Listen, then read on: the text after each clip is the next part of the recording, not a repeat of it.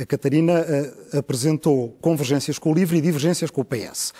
E o LIVRE é favorável à exclusividade dos médicos no Serviço Nacional de Saúde. O LIVRE é favorável a uma coisa muito simples. A maneira de acabar com a suborçamentação do SNS é deixar de o suborçamentar.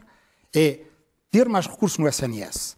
Ter mais recursos no SNS, desde fazer o combate que nós temos que fazer à fraude, à evasão fiscal, à fuga fiscal, que nos leva 13 mil milhões de euros por ano, é todo o orçamento do SNS e ainda mais, dava para termos dois SNS de luxo. Uh, precisamos também de ter novas valências para o SNS e algumas dessas deveríamos estar a aproveitar e não estamos por uh, falta de horizontes, provavelmente do Governo, alguns dos fundos criados pela própria União Europeia no início da pandemia, que têm juros muito baixos, que até países com uma dívida pública maior do que Portugal, como a Itália, estão a usar para fazer uma rede de saúde mental, uma, uma rede de saúde dentária. Nós acompanhamos o Bloco nessas uh, exigências, como acompanhamos outros partidos de esquerda. Claro que há divergências programáticas e coisas que podem levar um ênfase maior ou, ou menor nos programas. Quer dizer, eu vejo, por exemplo, no, no, programa do Bloco, há pouco ou praticamente nada sobre trabalho independente e microempreendedorismo.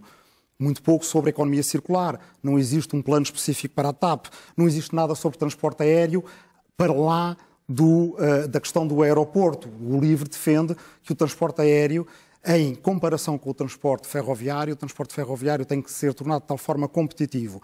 E o transporte aéreo taxado, porque a querosene do transporte aéreo, neste momento, tem enormes externalidades negativas sobre o clima, não é taxada, de forma a que seja sempre competitivo nos trajetos em que isso faz sentido, ir de comboio e não ir de transporte aéreo.